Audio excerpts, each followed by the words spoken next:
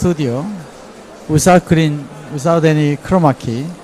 So you see that we are showing on the other monitor uh, without any green screens. So all this motion, movement, I'm not touching any device here. Full automatic. So when teacher coming, when he wants to start the presentation on this PowerPoint, you don't have to see this one, just the teacher only watching projector screen for PowerPoint like this.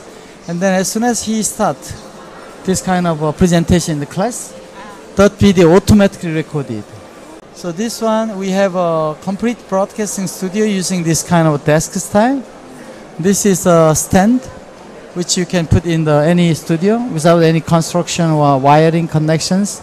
This is a fully integrated all-in-one broadcast station. You put there in any place, it turns your place into broadcast station. Going Zoom, going YouTube, this video directly going YouTube.